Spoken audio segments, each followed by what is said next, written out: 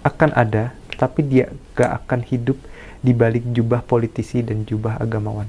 Oke. Dia Ingat. sekali berpawang. Whatever. Tapi tidak di tidak berbaju politisi dan tidak berjubah agamawan. Tiga generasi ke depan zaman zaman kesadaran universal ini akan mulai tumbuh. Pengamat dengan yang diamati sebetulnya sa Sama. satu Satu. Hanya terpisah oleh zat zat dan pikiran. dan pikiran. Begitu observer itu menyadari sepenuhnya bahwa dia itu bukan zat, bukan badan, dan, bukan, pikiran, maka dia Satu. langsung menjadi satu dengan yang observe, yang diamatinya. Puncak dari hening adalah masuk ke dalam kegelapan total. Emptiness. Tak ada apa-apa lagi. Bukan cahaya.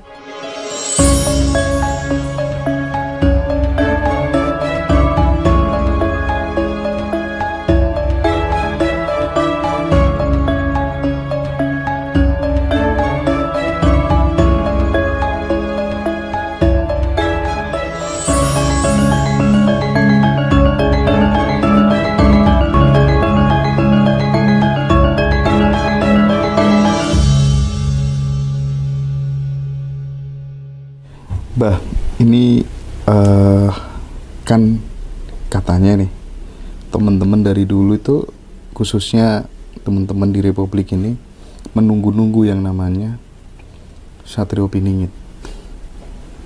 Nah itu kira-kira eh apa tuh namanya bentuk penjajahan dari zaman Belanda dulu supaya masyarakat kita berharap terus saking saking terbiasanya berharap tanahnya habis dibeli Cina dan lain sebagainya Untuk? Iya untuk kepentingan kapitalistik Oke. nah yang ingin saya tanyakan sebenarnya konsep Satrio Pining itu beneran ada apa enggak sih menurut Abah sendiri gitu bakal muncul nggak sih satu manusia yang kemudian dia bisa mendamaikan tidak hanya satu negara tapi negara satu dengan negara yang lainnya yang katanya muncul itu mesti orang Jawa nah ini kan ini mabuk Jawa atau atau gimana Pak? akan ada, tapi dia gak akan hidup di balik jubah politisi dan jubah agamawan. Oke. Dia Ingat. sekali berpawang. Whatever. Tapi tidak di tidak berbaju politisi dan tidak berjubah agamawan. Karena dia akan berevolusi itu kok. Dia nggak akan dia ada di pihak itu. Hmm, Dia akan merevolusi tatanan negara dan dia akan merevolusi tatanan keba kebatinan.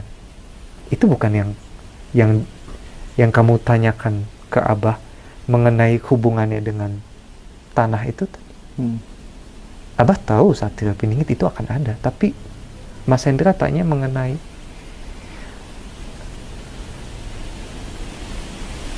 kapitalisme. Jelas dia seorang yang kap- seorang yang yang akan lahir sebagai Satria Piningit ya a- orang yang akan melawan kapitalisme. Oke, oke, oke, oke. Satu sosok atau menjadi kesadaran kolektif?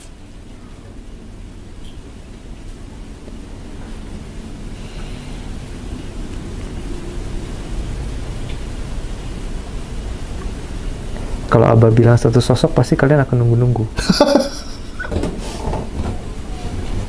Iya tuh? Betul, Mbak. So, buat buat apalah? Yang jelas Abah pernah bicara sama Mas Hendra, Mas, du, tiga generasi ke depan zaman zaman kesadaran universal ini akan mulai tumbuh. Tiga generasi ke depan. Semakin banyak pencari, semakin banyak orang yang ben- penasaran dan mendobrak ketidakwarasan, semakin banyak itu. Ini upaya kita mendobrak ketidakwarasan nih, Pak. Ya, Yang diwariskan turun temurun Iya. gitu ya, Pak. ya, Dan aktornya sekarang udah jelas. ya, Oknum pemuka agama dan politisi. ya. Nah, ini harus jadi common enemy, bah. Gimana, bah?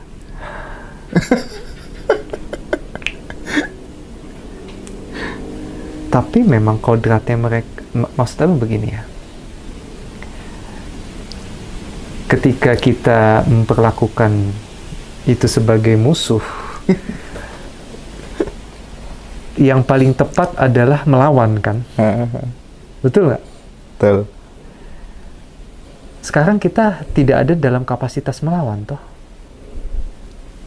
Dan tidak boleh. Kita kan manusia-manusia sadar tuh manusia yang tidak boleh ada dalam kapasitas melawan. Oke, oke, oke. So, biarkan alam aja menggiling itu. kan. Lewat memori-memori. Semesta akan menggiling itu kok. Iya, iya, iya, iya, iya. iya. Menggiling mereka.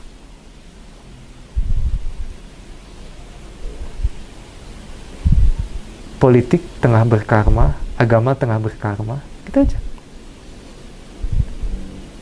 Demokrasi punya karmanya juga. Mm-mm. Lihat aja. Iya, iya.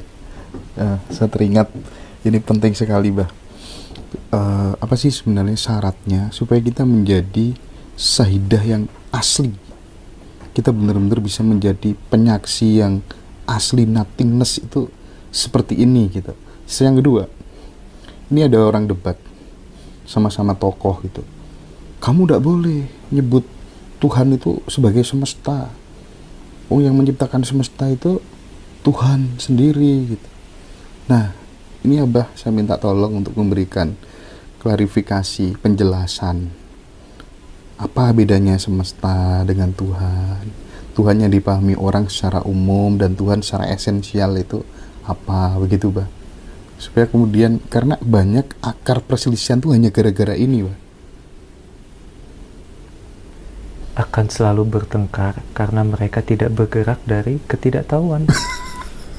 karena bergeraknya dari kitab, dari knowledge, dari belief, Bukan dari experience yang autentik. bukan dari ek- authentic experiencing. Ketika Anda bergerak dari belief, dari knowledge, akan ada banyak debat. Jadi begitu Anda experiencing langsung, apa itu Tuhan? Fenomena apa itu Tuhan? Gak ada yang perlu didebatkan. Barusan kita ngobrol. Observer dengan observed yang diamati. Oke, Pengamat dengan yang diamati sebetulnya sa sama. satu. Satu. Hanya terpisah oleh Zat zat dan pikiran. dan pikiran. Begitu observer itu menyadari sepenuhnya bahwa dia itu bukan zat, bukan badan, dan, bukan, pikiran, maka dia Satu. langsung menjadi satu dengan yang observe, yang diamatinya. Hmm.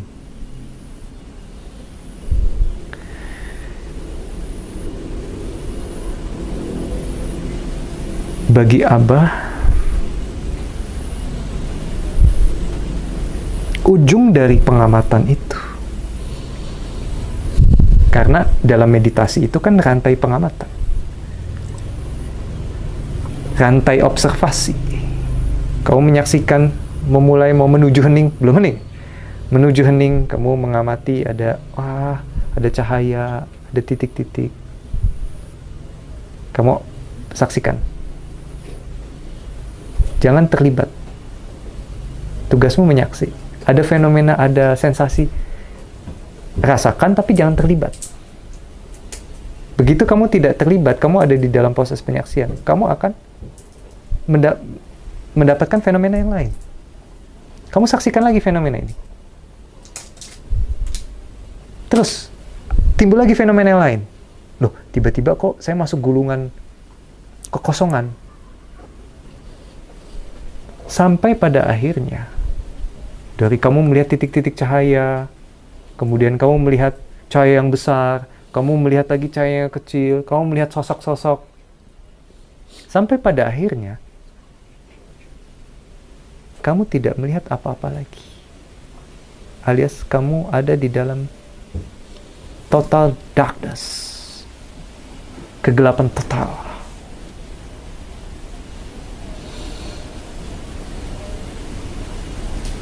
Keasunyatan itu, kekosongan itu. Kamu seperti gula yang larut di dalam kekosongan, ke dalam kegelapan. Habis. Lenyap. Bayangkan, gula yang larut dalam kekosongan. Bayangkan. Lenyap. Seperti itu. Dan Tuhan adalah fenomena pulang kepada situ.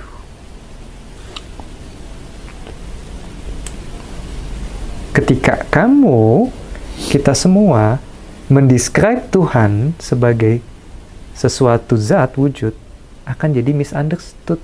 Pasti berbeda di setiap kepala. Iya. Akan disalahpahami. Iya. Pemahaman Anda dengan saya beda. Begitu ketemu kita di satu meja, kita akan berantem. Mungkin bisa bunuh-bunuhan. Iya. Waktu kapan hari kita ngobrol soal dasar-dasar penciptaan, itu kan banyak orang yang masih tidak dong. Mana mungkin segala sesuatunya ini Terjadi dengan tercipta sendirinya. dengan sendirinya. Masih banyak yang tidak bisa menerima pemahaman itu. Betul. Meskipun kalau diangen-angen proses penciptaan itu sendiri juga ndak ndak masuk akal. Gimana, Bah? Bisa di eh di apa tuh namanya? diulang lagi, Mbah. Ketidakmungkinan itu kan kamu dapat dari persepsi pikiran, bukan dari pengalaman. Makanya itu, Tuhan, kata Tuhan, dan itu akan menjadi selalu misunderstood, akan salah disalahpahami terus. Karena apa? Karena Anda bermodal dari knowledge, buku, kitab, dan belief, rasa percaya. Dikasih tahu orang, Tuhan yang menciptakan ini. Rasa percaya itu tertanam. Anda tidak bergerak dari kekosongan, dari kemurnian, dari ketidaktahuan. Oke, oke, oke.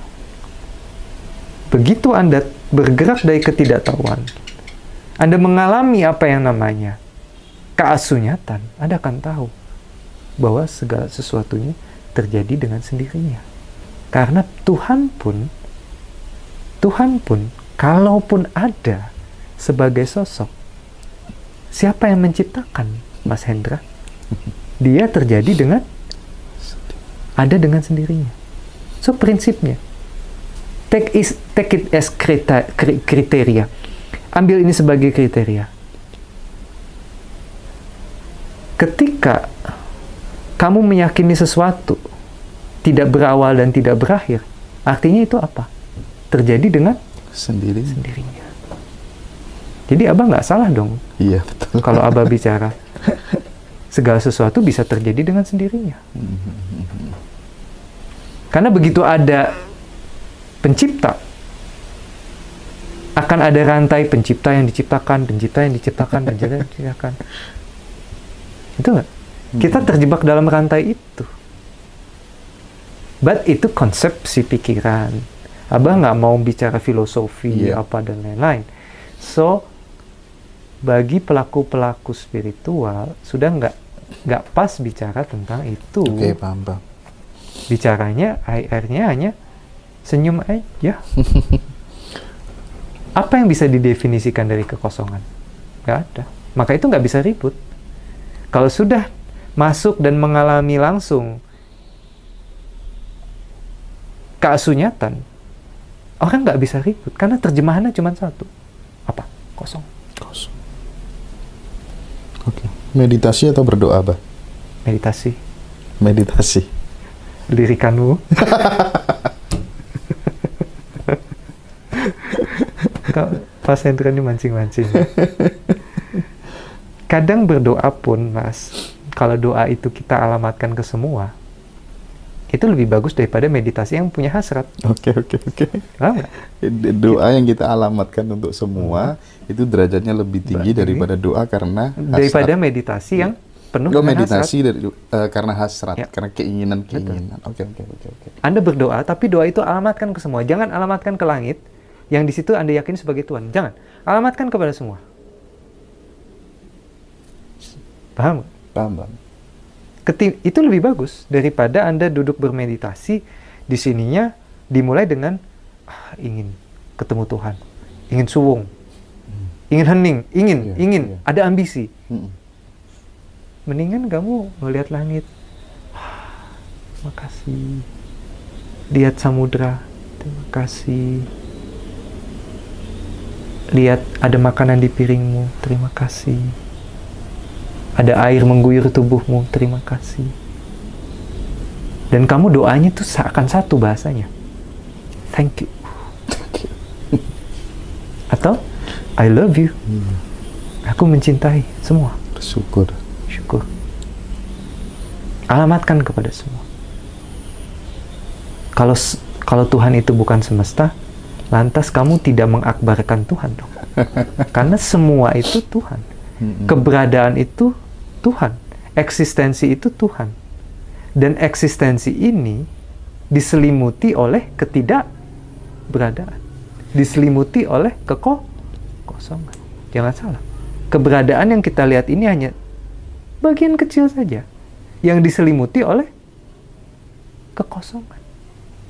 Maka dari itu, puncak dari hening adalah masuk ke dalam kegelapan total. Emptiness. Tak ada apa-apa lagi. Bukan cahaya. Tapi tak ada apa-apa lagi. Tidak ada apa-apa.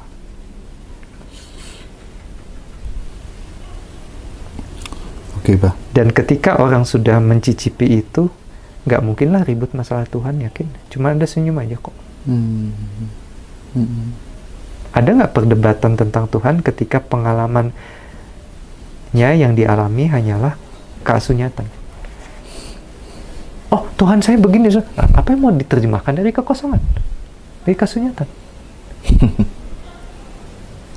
Tapi begitu Anda menerjemahkan Tuhan dalam melalui dibekali oleh belief, dibekali oleh knowledge, katanya ilmu buku A, ilmu kitab, Mm.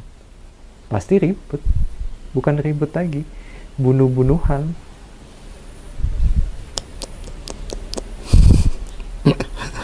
Oke oke oke. Eh, terus ini bah apa tuh namanya?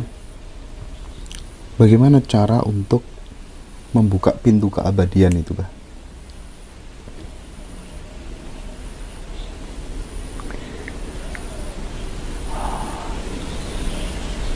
Orang yang menyadari sepenuhnya bahwa dia sebetulnya tidak bisa mati,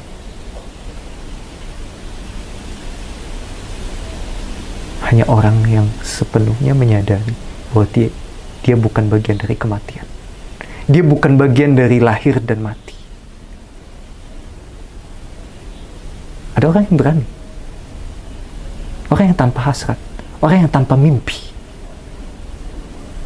Orang yang penuh mimpi, penuh hasrat. Gak akan berani. Gak akan bisa membuka pintu keabadian. Karena dia akan selalu berpikir. Dari sini mati, saya mau ke alam mana? Hanya orang insan-insan yang menyadari sepenuhnya bahwa dia bukan tubuh.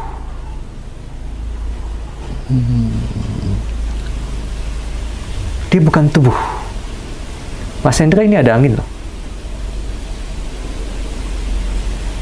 Ada angin. Hmm. Ketika Mas Hendra menyaksikan prana yang comes and go, bahkan dalam hembusan nafasmu kamu bisa mendengar hembusan nafasmu.